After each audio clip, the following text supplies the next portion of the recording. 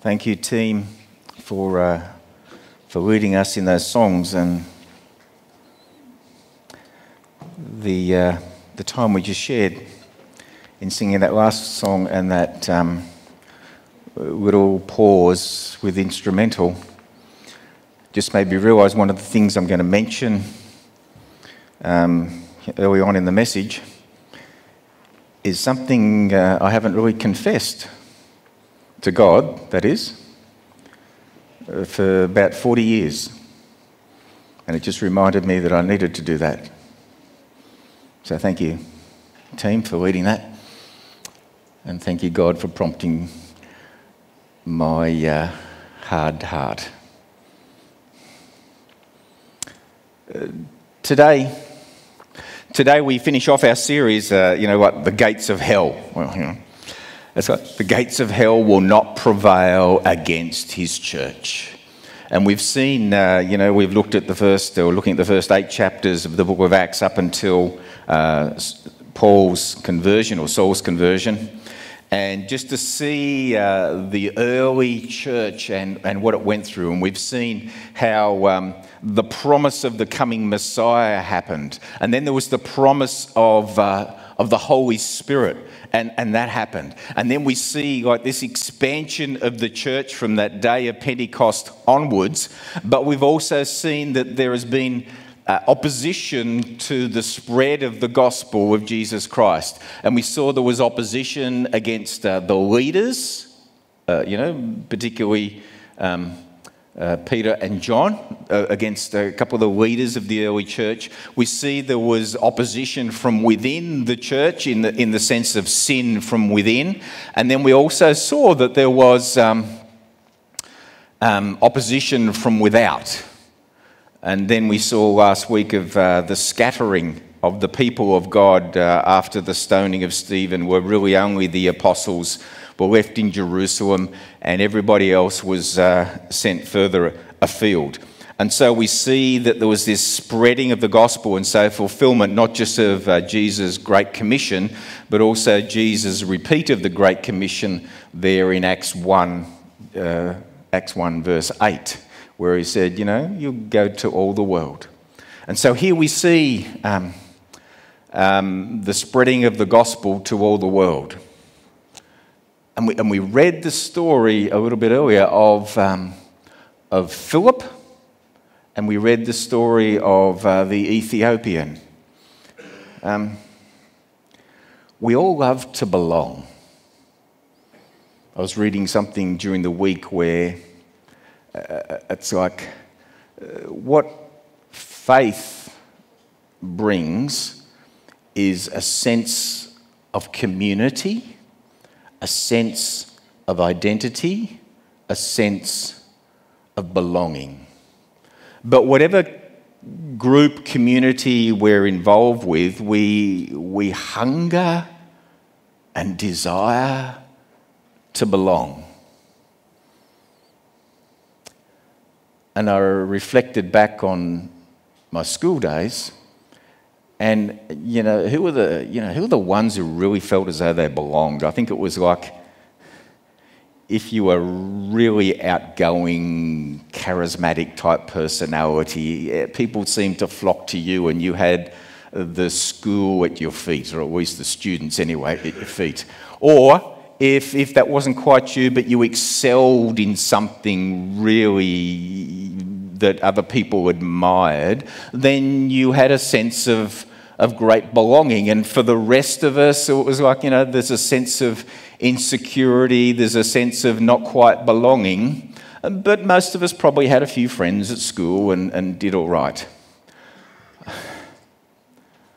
I, I reflected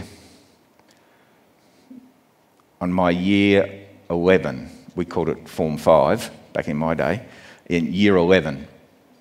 And in year 11, I think um, there were lots of new people at the school at the start of the year because the local Catholic school only went to year 10, and so all the, all the Catholic school kids came to our public school in year 11. Um, but then a bit later on in the year, I'm not sure when, halfway, quarter of the way through the year, two girls turned up. Two girls turned up to commence at our school. They both seemed to turn up at exactly the same time, although one came from Victoria and the other one came from I have no idea where. Um, and these two girls, um, I have to say, it right, they were rejected by us, by me, and by pretty well everyone in year 11. They found solace in each other,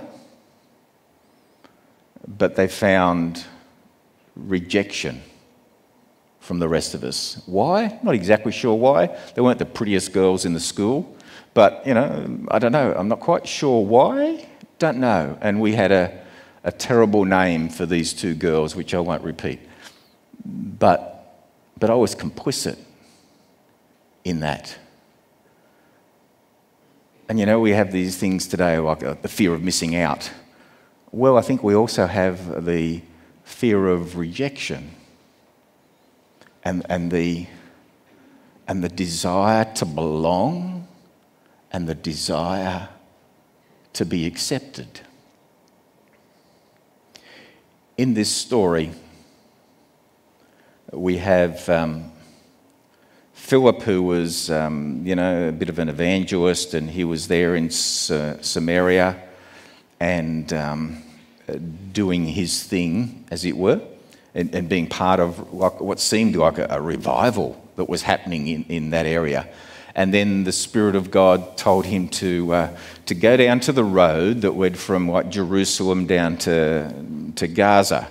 And the Gaza in those days was a, you know, an, an, area, like we have the Gaza Strip, and it was even on the news this morning, the Gaza Strip, and that's uh, pretty much the same sort of area. And there was a couple of roads down to there, but uh, Philip was meant to go, or meant to go down to one of these roads. And as he was on that road, of course, he, there was a man. Who was this man? We are not told his name. We are told this man was um, from Ethiopia. Um, so it was highly likely that he was uh, a black skinned uh, African. And the Ethiopia in those days was a bit different to where Ethiopia is, as I understand it today. I mean, Adira will correct me, you know. Um, but I think it was uh, encompassed maybe part of modern Ethiopia, but it was like on the southern end of, uh, of Egypt and the, that part of the Nile. Uh, but this man was um, from Ethiopia, um, um, and he was like in charge of the treasury of the nation. Well, at least it seems like the treasury of um, the Candace is, is, another translation of that word. It's where we get the name Candace. Candace is the, the name for the Queen Mother. You know, it wasn't, he was like he was in charge of all that the Queen Mother was responsible for. Like he had his hands on the cash to look after all that cash. But what we're also told about this gentleman, and we're in fact told seven times in this passage. You think God's trying to highlight something? We're told seven times in this passage um, that this, this gentleman was a eunuch. Um, so, whether he was um, born like that, whether he was um, um, castrated later on because of the role that he was fulfilled, not quite sure. But we're told seven times uh, he was a eunuch. What we're also told about him that he, would, he was just returning uh, from Jerusalem and the festivals there, and he went up to, to worship there. So it was, it, was, it seemed like this gentleman, this, this uh, gentleman from Ethiopia, was Jewish. Now, either Jewish by, you might say, conversion, or the scholars think, it's probably think, uh, the scholars think more likely Jewish by um, um, heritage, where there was the Babylonians came to Jerusalem 500 years earlier and scattered everybody, took some like Daniel off to uh, Babylon, and others were scattered all over the place, including down that part of the world. So maybe he was Jewish by, you know, ancestor, and, uh, but he, he went to Jerusalem for one of the festivals to worship God, and he was on his way home. On his way home, um, he was reading the book of Isaiah. And he was in his, let's say, gold chariot. He was an important man, gold chariot. And, um, and Philip comes up to this chariot, runs up to the chariot, whether he, the chariot was uh, racing along and it was a miraculous running beside it, not sure, or whether he had so long to go he was just walking along on the chariot, and so Philip caught up to it. Whatever. He caught up to the, the chariot, and um, it was common in those days when you read the scriptures, maybe it was an attention thing, you read them aloud. It's like, you know, what it's like. You can, you can read the Bible, three pages later, you have no idea what you read. If you want to keep your attention a bit better, you stand up in a chariot and read aloud. Like, that'll keep your attention, surely. Or at least read it aloud if you haven't got a chariot to, to go by, okay? So, and if you want to stand up, that's okay too. So, we have this gentleman who was uh, reading aloud. Um, in his chariot and was reading part of the scriptures. And, um, and, and Philip comes up and said, Do you understand what you're reading? Like, great introduction. He says, How can I unless somebody tells me? And, and uh, probably thought, Where have you come from? But anyway, calls him aboard and they start to chat. Well, when I say chat, we see the Philip share with him from this passage and then beyond that passage, the scriptures, the gospel. I suspect, and again, uh, you know, I suspect when he started at that passage, we see it was Isaiah 53. And what's quoted there in the book of Acts was from verse 7 and 8. But listen to the, the immediately preceding verses. He had no beauty or majesty to attract us to him. Nothing in his appearance that we should desire him. He was despised and rejected by mankind, a man of suffering and familiar with pain. Like one from whom people hide their faces, he was despised, and we held him in low esteem.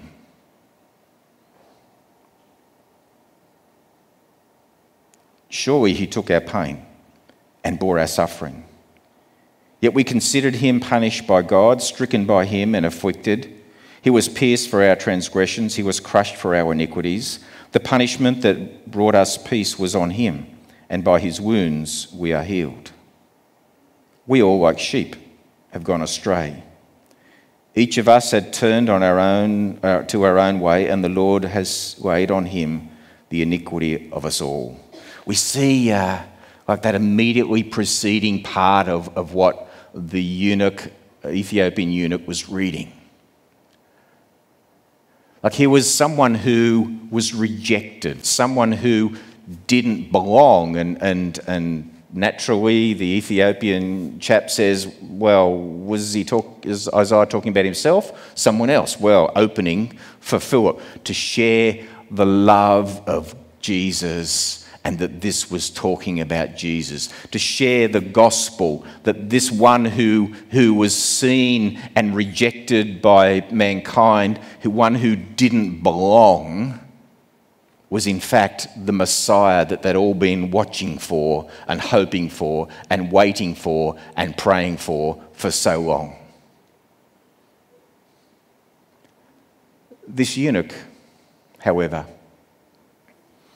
um, he was one who was, um, had been to Jerusalem to worship. And it's fairly commonly understood that even though he was Jewish, he would not have been allowed into the temple because he didn't belong. Because he was a eunuch.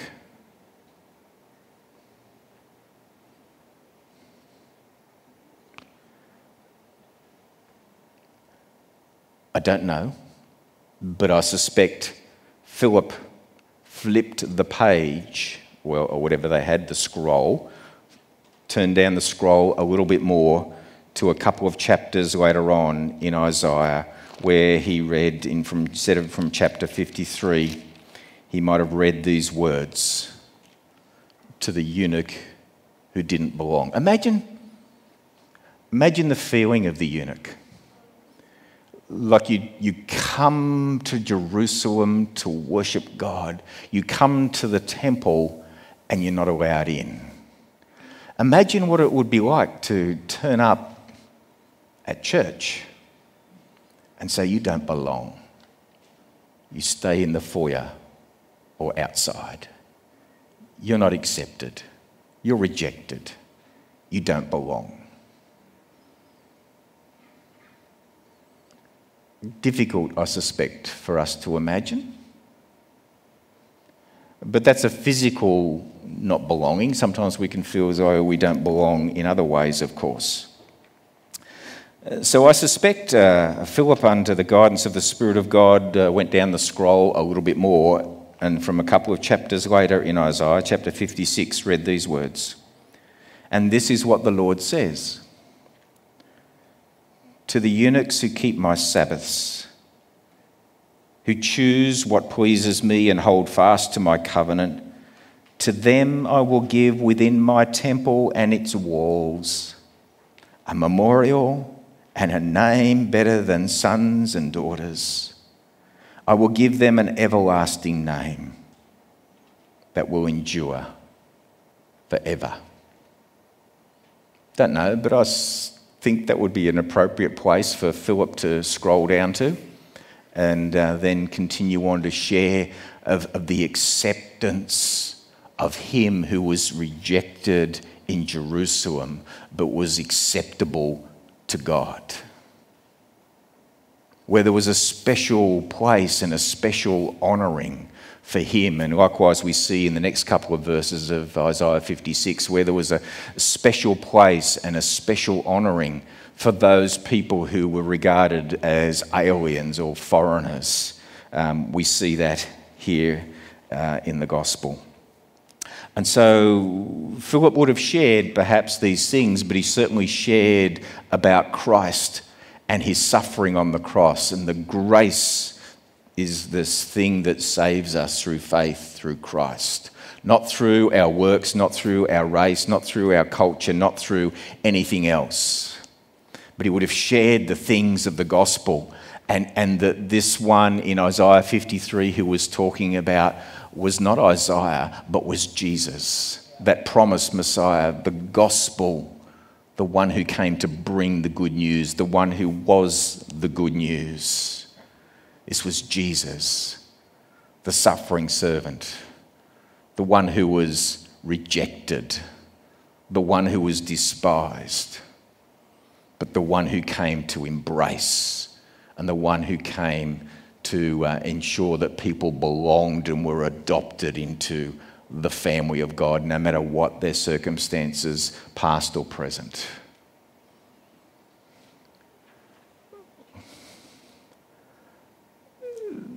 The Ethiopian chap was clearly, if I use the word impressed, totally inadequate. Not merely impressed, but the Ethiopian guy was convicted of not just his need for a savior, but this, that the savior uh, embraced him as he embraced his savior. And so he responds and he says, um, um, um, um, Here's some water. What's stopping me being baptized? So clearly, uh, I suspect part of the presentation of the Gospel of Philip was to, was to talk about uh, the grace of God, to talk about the cross of Calvary, and to talk about the baptism, which was the uh, visible sign of, of a person coming to belong to Jesus. And so we see, oh, I'm supposed to have turned over a few slides, forget it. So we see um, Uh, so we see as part of that was a response where this Ethiopian had now given his life to Jesus, felt Jesus' love and his embrace and his acceptance where he had been rejected by others, he's been accepted by God. And, and as part of that, he responded and said, I want to, I want to follow him, and I want to follow him through the waters of baptism. Here's a bit of water. What's stopping me? And, um, you know, verse 38, I think it is there, or 37, 38, like you will find down the bottom of the page on, on many Bibles. Um, you know, just says if you believe in Christ as the Son of God, you can be baptized. That's, that's okay. Um, probably, why is it down the bottom? Probably not in the original, but a great verse to add just to help clarify a couple of things many might think. But, you know, probably not in the original. So if you say, well, you know, people are taking away from the Bible, well, more correct is probably people have added to the Bible. But anyway, that's another whole issue, I'm sure. But, uh, but so he was, he was baptized. And uh, they were in, down into the water and up out of the water. And then uh, Philip disappeared, and the Ethiopian eunuch went on his way rejoicing, never to see Philip again. What do we learn from this beautiful account? I think we learn a couple of things. I won't worry about the slides, don't be too hard to find them now. We learn a couple of things. Um, we learn that there is acceptance by God, and that acceptance cuts across racial barriers or racial lines. You know, this gentleman He'd been to uh, Jerusalem and had been not, not allowed, he'd been rejected in terms of entering the temple. But we see in, in the, the book of Acts, we see in the whole New Testament, but we see in the book of Acts as we look at the early church and we see the expansion of the early church, we see that expansion is fulfilling the Great Commission of Jesus. We see that expansion goes beyond um, just the local community there in Jerusalem. And as we saw last week, I think it was, where, where um, you know, they were scattered at the stoning of Stephen. All the other Christians, apart from the apostles, were scattered, like, go home, go home, go home. And we see now the, the gospel going across these racial lines.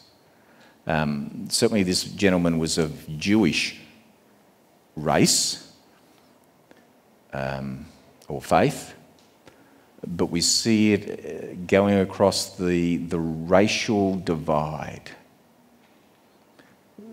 the gospel is for everybody.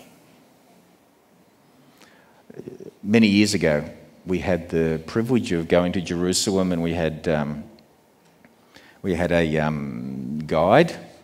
Uh, I can't remember his name now, Kathy might. Can't remember his name, but we had this guide who was a lovely guy and we suspect may have been Christian, may. But it was interesting, you know, what he said was like as a Jewish, like as Christians, you know, you want to take over the world. The Muslims, they want to take over the world. The Jewish people, uh, they're not there to convert people to Judaism at all. They're happy with their Judaism and it's not for others, it's for them. Well, the gospel is not. It's for all.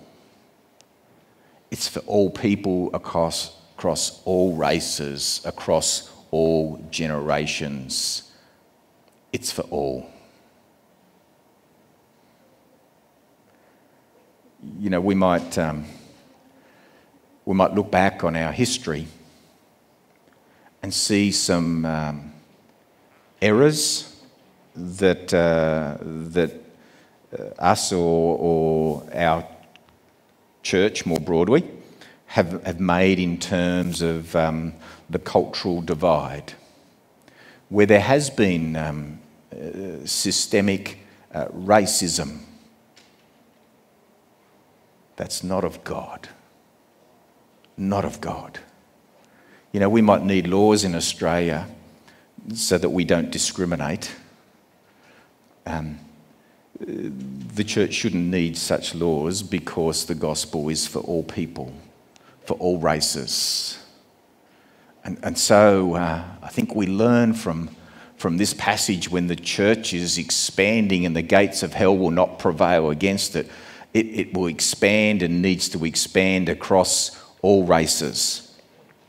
Uh, the other thing that we learn is that it's not just acceptance across all races, but it's acceptance cross culturally. Uh, you know, across the cultural divide. Um, you know, we see here again this, uh, this eunuch was part of a, a group that, um, you know, was in, certainly in the minority and certainly one of the groups that the people, the Jewish people of God, uh, wouldn't allow to enter the kingdom, uh, the kingdom, the temple, because he was seen as unclean. We had these two girls in year 11 at school who we rejected because they were different. Can't even remember what way they were different. The kingdom of God is, is cross cultural as well. Like in cross cultural, that's not the same necessarily as, um, as a cross racial divide. Uh, because, like, this, this man was uh, Jewish and yet was still not accepted. Like, we have many, you might say, subcultures in Australia. And the gospel is for all. The gospel is for all. You know, we're not here to make people more like us. We're here so that we all might be more like Jesus. We're not here to, to have that culture become like our culture or whatever. We're not here to make people more like us, we're here to make people more like Jesus. And so when we, uh, when we see the, uh, the super rich, or we see the poor or the homeless, when we see the, the addicts, when we see um, those who are part of the culture of LGBTI community, where we see people of various subcultures within our society. They are loved by God, and Jesus died on the cross for them. And we're not here to make them more like us.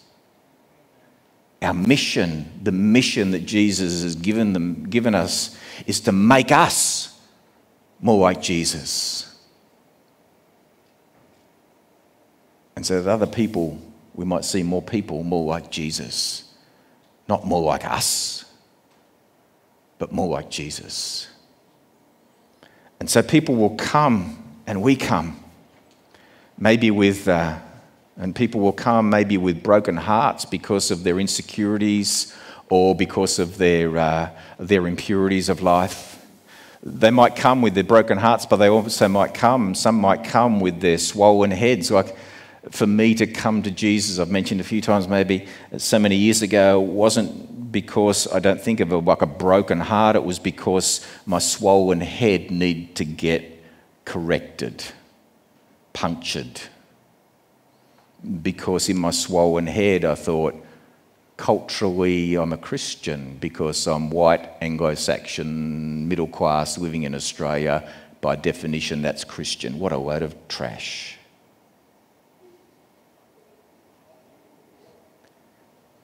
Culturally, the gospel is for all. You know, um, uh, you know, a decade ago, I went to the Philippines a couple of times. And, uh, you know, we went to a couple of different places. One place we went to was way off in the Never Never on, on the coast, which is, was just had a little road that opened up to four wheel drive and whatever, but it was like isolated as isolated. We went there because a family from our church down south came from that village. And talk about standing out. Like I and a couple of others, you know, we went and we stood out. Racially, yes, we stood out. Culturally, yes, we stood out. But you know, there was, there was acceptance and there was a belonging. And, and whilst there was some difference in part of it, but because of the acceptance and belonging, I was given the honour, given the honour of preaching in the local Catholic church in that village. Something I've never done before, and I don't think I've ever done since either. But it's like they embraced us because we were part of God's family. Racially, way different. Culturally, way, way different. And likewise, when we went down south to uh, a city called Palompon, um, you know, it's a city, I can't remember now, size of Gladstone, maybe bigger, can't quite remember, sorry, but lots and lots of people, lots and lots of um, uh, you know, bikes and put-puts, as they call them. Um, lots and lots of them, lots and lots of them, and lots and lots and lots and lots and lots and lots and lots. And we stood out because this wasn't a touristy place. This was a bit like that village which is isolated. This wasn't isolated, but it wasn't a touristy place. It was a place, uh, a Filipino city. And we stood out. But we were embraced because we were part of the family of God. The family of God. Didn't matter about race, didn't matter about culture. What mattered was Jesus. Jesus. Jesus. And so when we think of our big heads or broken hearts, when we think of our insecurities or our impurities, it's like it's by grace we have been saved. Not because of our culture, not because of our race, not because of our good works, but it is by grace we have been saved through faith in Jesus. That's the message of the early church. That's the message of the New Testament. That's the message of Gladstone Baptist Church. Where it's Jesus, Jesus, Jesus. Let's pray.